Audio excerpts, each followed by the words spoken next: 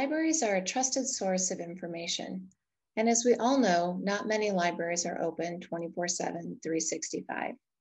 For Michigan residents, the next best thing is to use the Michigan e-Library or MEL, an Anywhere Anytime library. MEL has two parts, MELCAT, which is the statewide resource sharing system, and the e-resources, which is a collection of databases with high quality, reliable, vetted information. Patrons in all 83 Michigan counties love MEL's e-resources and MELCAT. The Library of Michigan, an agency of the Michigan Department of Education, administers MEL. Funding for MEL comes from two sources.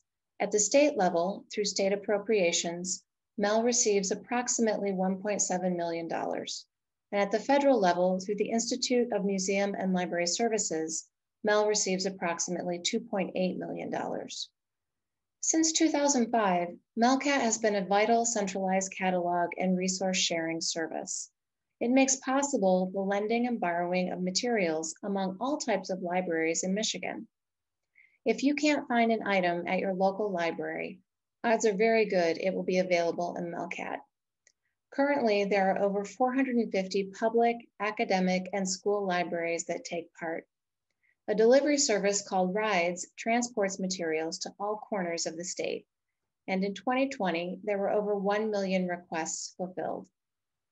How did you find what you needed the last time you were looking for health information or consumer reports, or maybe a reliable resource for your student's homework assignment? MEL's e-resources offer Michiganders the opportunity to become lifelong learners and engaged residents. These e-resources are a one-stop shop accessible at all types of libraries across the state. The Library of Michigan invests in over 80 e-resources for MEL. Content is available for pre-K through college students, as well as all types of adult learners. Topics and formats covered include early literacy, ebooks, all types of practice tests for high school and college students, magazine and newspaper articles, encyclopedias, health resources, resume building tools, workforce skill building, family history research, and much more. What makes these e-resources different from other search experiences on the internet? Organized and curated by experts, MEL's e-resources contain trusted and authoritative sources of information. You also won't have to pick your way through advertisements like you do with search engine results. A key focus for MEL is to support Michigan residents in adopting healthy information seeking habits. The e-resources are the first step in separating truth from fiction.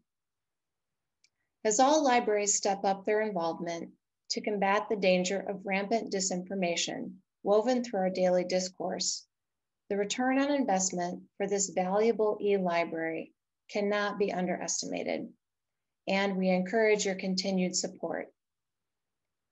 Please visit your local library or mel.org to explore this great resource.